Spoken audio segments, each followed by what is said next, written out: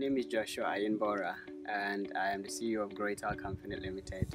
We are an agribusiness facility specialized in the cultivation of pineapples and then currently starting to experiment with some vegetables and we are located in Ghana, West Africa.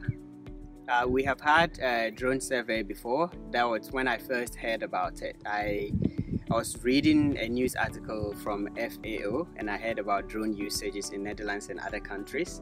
I got uh, curious about it and then I checked on YouTube to see what other farmers are, are, using drones for on their farms. But because by then I was having a fungal attack on the pineapples which I couldn't figure out the source because when you're looking at the field laterally, it's difficult to be able to see the various shades of green in the pineapple. You just think they're all green but after we, we, we analyzed the images, we realized some of the fields were dark green, whilst others were light green. And fortunately, when we came on ground to pinpoint the light green areas, we realized that those were the areas that had the fungal attack and that was what helped us to save a lot of money so i think in the near future drones will be what i would use for managing my farm especially for taking key financial decisions on application of fertilizers and pesticides